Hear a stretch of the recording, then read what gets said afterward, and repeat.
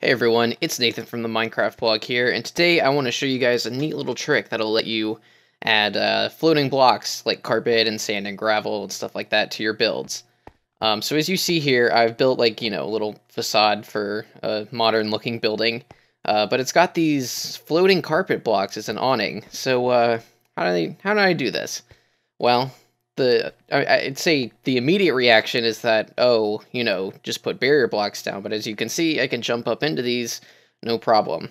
Well I can assure you that uh, this it can be done without mods without anything like that without command blocks um, perfectly in vanilla. Um, it could I guess even be done in survival mode. Um, it's actually a really simple trick. Um, we call this the rose trick and it allows you to place carpet, sand, gravel, anything like that in midair, uh, stationary like this. So how do you do it? Uh, well, all you need in order to do this trick is, uh, you know, the block that you want to float, uh, a rose bush, and some dirt. So you want to start off by putting down the dirt about three blocks below where you want the actual floating blocks to be. Then you put down some roses on top of each block of dirt. And then you go ahead and place your carpet or gravel or whatever. And just for just for demonstration, let's put some sand and some gravel up here too. All right, then the next thing you got to do is break the bottom block of each rose bush, and then you can remove the dirt. And as you can see, um, leaves these blocks floating in midair. Uh, you can walk on them, jump on them, whatever, and they work fine. However, um, you cannot place or break any blocks adjacent to them. So for instance, if I try and break this carpet, they all fall off. Uh, so why does this work? Well, uh, blocks that have, um, for instance, blocks that like are sand, gravel, uh, carpet, stuff like that, they um, are dependent on having a block underneath them.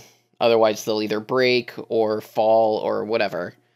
Um, but the way that Minecraft is able to sort of uh, detect whether or not these blocks should break or fall is through a system called block updates. So basically, what that does is when you place a block, it sends a signal to any adjacent blocks saying, uh, you know, check to make sure that you can still be in this location. So if I break uh, this block of gravel, it triggers the block above it to update, and then it sees that there's no block below it, so it falls. Um, so that's a block update. Uh, block updates occur whenever you break or place a block. Uh, however, with the rose trick, um, for whatever reason, breaking the bottom block of the rose bush does not trigger a block update because it only uh, updates the top block of the roses. So for instance, we break this block here, it only updates this one and you know the ones around it, but it does not update the sand here. Um, so it causes, basically it causes the sand to remain in midair without being updated. Now, um, if you place a block beside it, that block will trigger an update on the sand, causing it to fall. Um, so, if you want to use this uh, trick to make, you know, awnings or, you know, stuff like that, um, I would recommend that you do the floating blocks last. Because um, if I did those first and then tried to make the building around it, as soon as I put these blocks beside it, they all the, the whole awning would fall down. So uh, that's the only stipulation is that you have to do those last.